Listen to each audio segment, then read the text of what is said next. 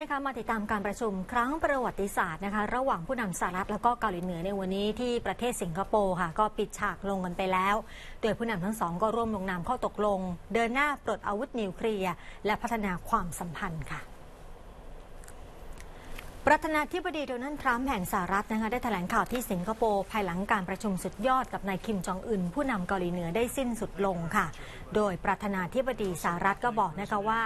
การประชุมร่วมกับนายคิมจองอึนเป็นการประชุมที่ซื่อสัตย์แล้วก็ผู้นำเกาหลีเหนือเองก็ต้องการที่จะทำในสิ่งที่ถูกต้องนะคะ หลังจากนี้เนี่ยสหรัฐจะยุติเกมแห่งสงครามเหนือคาบสมุทรเกาหลี พร้อมกับแสดงความหวังที่จะยุติภาวะสงครามเกาหลี ได้โดยเร็ววันค่ะ ขณะที่ผู้นำเกาหลีเหนือก็มุ่งมั่นค่ะที่จะยุติโครงการนิวเคลียร์ พร้อมกับชี้ได้ว่าภาวะสงคราม เกาหลีก็จะสิ้นสุดลงในเร็วๆนี้ แต่ว่าอย่างไรก็ดีค่ะมาตรการคว่ำบาตรจะยังคงมีอยู่ นอกจากนี้ผู้นำสหรัฐก็ยังแถลงขอบคุณนายกรัฐมนตรีลีเซียนลุงแห่งสิงคโปร์นะคะที่มีการอำนวยความสะดวกเป็นไปอย่างดีต่อการประชุมด้วยค่ะ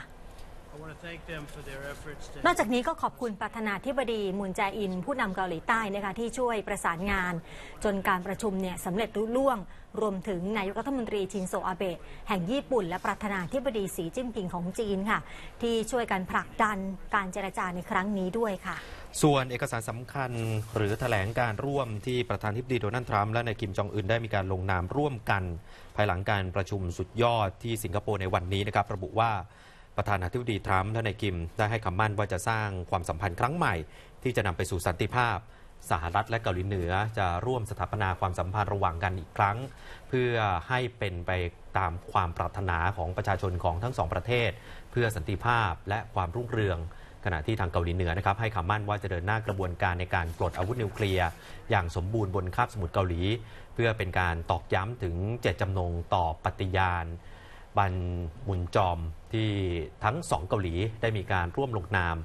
ในวันที่ 27 เมษายนที่ผ่านมา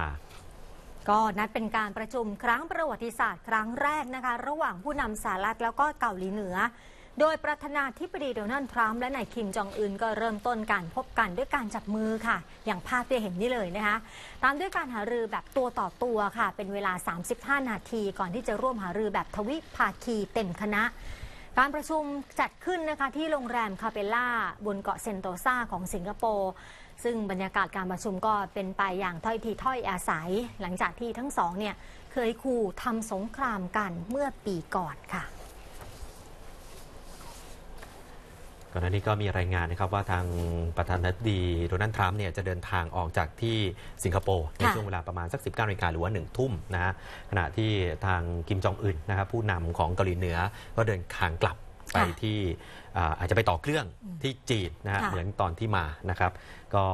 กลับไปช่วงประมาณบ่ายโมง หรือว่าบ่าย2โมงที่ผ่านมานะครับ